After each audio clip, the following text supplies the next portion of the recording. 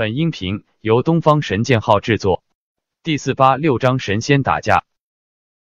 放下了电话，万明的脸上露出一抹冷笑。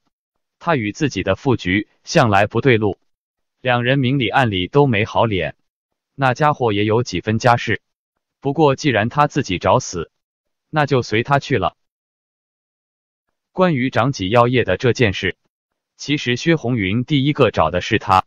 他一听说是叶浩轩的产业，马上知道两人不对头。不过他是为数不多知道叶浩轩身份的人，所以他就打马虎眼。虽然有些得罪薛红云，但好过把叶浩轩往死里得罪。正如他说的，神仙打架，他们凡人就该离远一点。他那位老同事，就自求多福吧。不打算到军部打个招呼吗？萧海妹问。不用，这个要上面的首长非常看好，他们自然会关注。我相信最多后天就能正式开工。不过他们这些封条贴上去容易，想拆下来就难了。叶浩轩冷笑道。萧海妹点点头。他接了个电话，然后就忙自己的去了。叶大哥，去休息一下吧。许彤彤向办公室一指，但是随即他苦笑了起来。办公室已经被封了，现在就连大门口的电子门也被贴上了封条，根本没有休息的地方。走吧，来京城后你一直忙，还没有四处玩一下，我带你走走吧。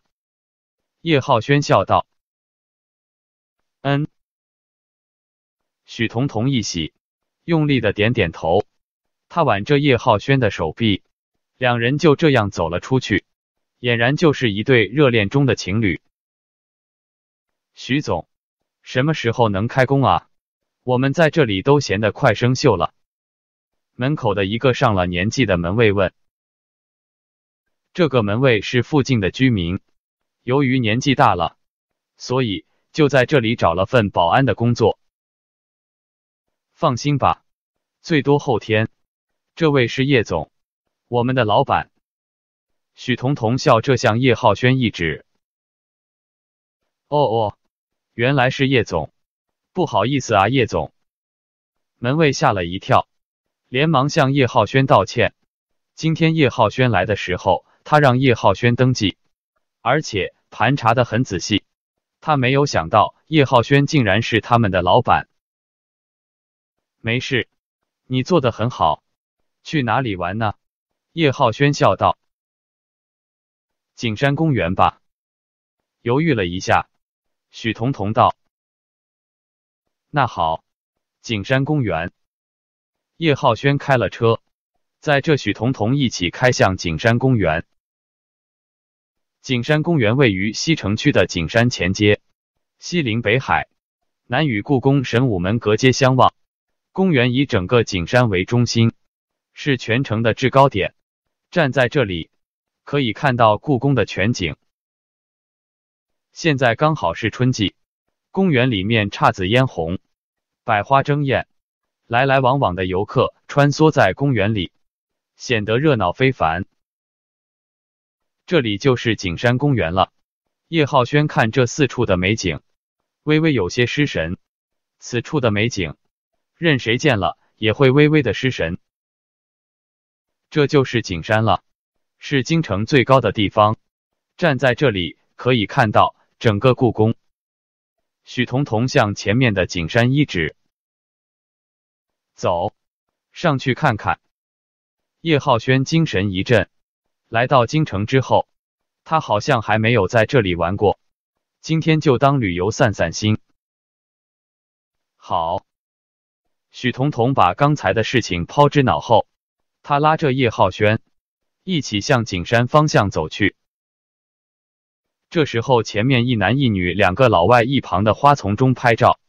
男老外的身后是一些生得奇形怪状、说不上名字来的攀援植物，这植物一层一层的。就像是波浪一样，看起来极为漂亮。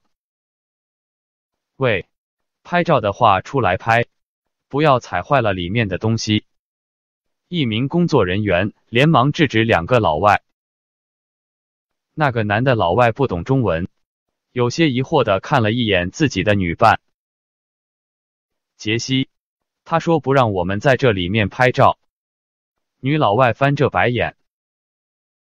法克，那名男老外向这管理员竖了一个中指，态度极为嚣张。你，你怎么这样？这里的植物是珍稀植物，你们不要踩坏了。管理员被噎了一下，就算是不懂英语，也知道这个手势和法克代表的什么意思。我们是外宾，你们要满足我们的一切要求。女老外神色倨傲的说。管理员摇摇头，无奈的离开。没办法，谁让人家是老外呢？睁只眼闭只眼算了。喂！叶浩轩冲这那老外叫了一声：“什么事？”女老外莫名其妙的看了叶浩轩一眼。现在是春天，那里会有蛇出没的，小心一点，别被咬了。”叶浩轩叫道。“蛇啊！”女老外尖中一声，扯着莫名其妙的男老外就向外面跑。可是女老外走得太匆忙，她脚下一绊，扯着自己的男伴，两人一路滚出了花丛。那样子要有多狼狈就有多狼狈。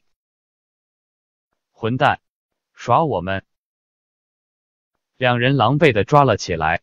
女人怒气冲冲的对着叶浩轩比了一个中指。我只是提醒一下你们，现在是冬天，蛇刚刚冬眠完。身体里所含的毒素是最多的，如果遇见了，你们自求多福吧。”叶浩轩道。“要你管，混蛋！信不信我让你好看？”女人操着生硬的中文对叶浩轩恐吓道。“这两个家伙的素质太差了，谁特妈说的外国人素质都好？”叶浩轩双眼中金光一闪，向两人瞪了过去。他用上了一点摄魂术，黝黑的双目显得无比深邃，让两人不自由主的打了个冷战。走吧，叶大哥，别让这两个人坏了心情。许彤彤挽着叶浩轩道。许彤彤对这里似乎是非常熟悉，他带着叶浩轩一路向上，一直攀登到景山的最高处，站在这里。整个京城都可以尽收眼底，让人胸中不自由主的升起一种豪情。你来过这里吗？站在景山之巅，看着紫禁城，叶浩轩有些诧异的问：“许彤彤对这里非常熟悉，不可能是第一次来。来过这里，这是第三次。”许彤彤的表情上流露出了一丝复杂。前两次都是我父亲陪我来的，这一次是你陪我来的。你们都是我生命中最重要的男人。叶浩轩微微一怔，没想以竟然勾起了他的伤心事。他把许彤彤轻轻的揽入怀中，拍拍他的肩膀道：“那以后我经常陪你来这里好吗？”好。许彤彤脸上的哀伤马上消失不见，他靠在叶浩轩的身上，只希望时间在这一刻停顿。就在这个时候，在悬崖边的护栏上传出一阵惊呼声，一个身穿环卫标识的清洁工按着胸口倒在了地上，在他的对面还站着一男一女两名态度嚣张的老外。出事了！出于医生的本能。叶浩轩心中一紧，拉着许彤彤赶到了人群处。让一让，我是医生。随着叶浩轩的声音传来，人群不自由主的让出了一条道路。在老人的跟前，已经蹲了一个懂点医术的男人，他一个劲的按着清洁工的胸口，给他做人工呼吸。这老人家快不行了，有人帮忙叫下救护车吗？男人抹了脑门上一把汗，道：“已经打了一百二十了，不过恐怕一时半会儿赶不到。